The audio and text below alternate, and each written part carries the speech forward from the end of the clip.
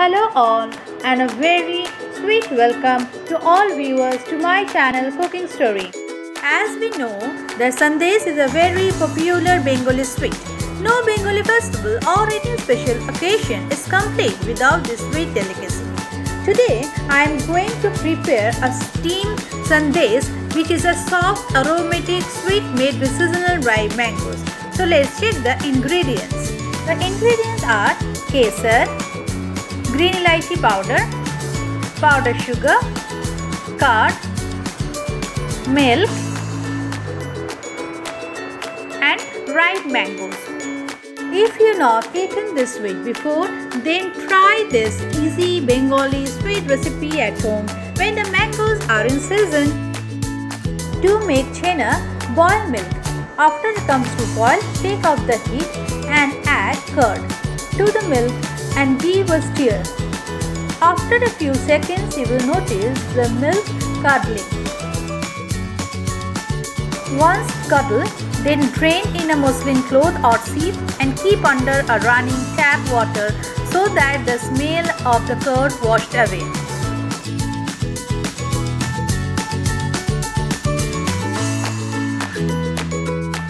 Now in a food processor, add the mango slices.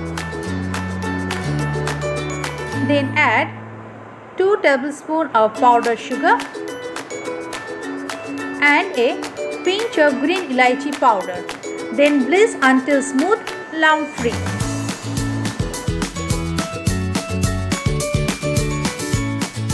Once done, add this mango pulp in a heated pan and stir it continuously till it becomes little thick.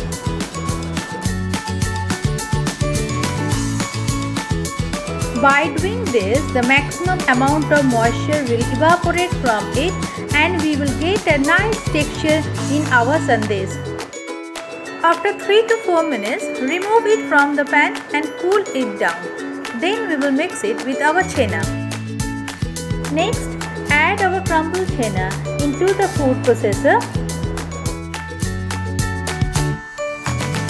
Then into it add 2 tablespoons of powdered sugar,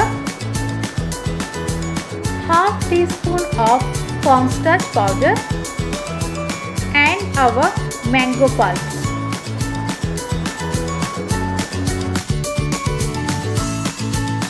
With it add 2 tablespoons of milk so the mixture becomes very smooth.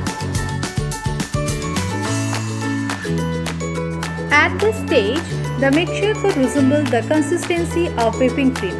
Keep aside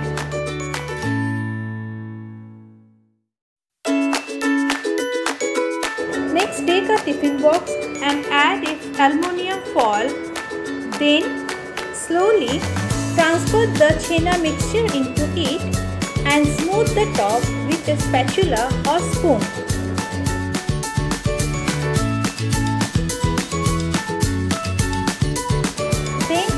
Garnish with some saffron strand or chopped pistachio over it.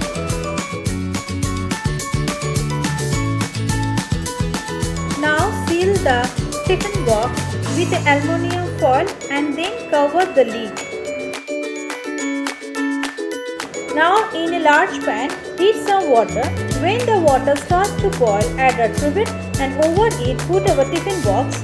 Cover the pan with the lid and steam to make the sandesh over low heat for around 45 minutes. Check the water level in between. In case it evaporates, add some more water. After steaming, take out the sandesh tiffin box carefully and let it be cool completely at room temperature before opening it. Now it's cooled down. Let us open and check our sandesh.